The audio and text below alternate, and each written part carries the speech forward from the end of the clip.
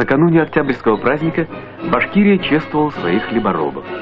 Они одержали замечательную трудовую победу. Перевыполнив план заготовок зерна, продали за пятилетку более 11 миллионов тонн.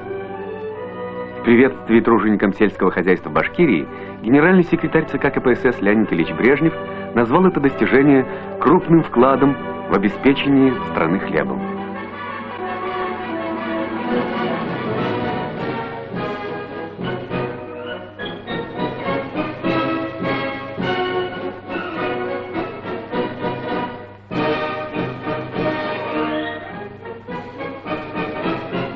Праздничная демонстрация в Уфе стала рапортом и о других достижениях республики.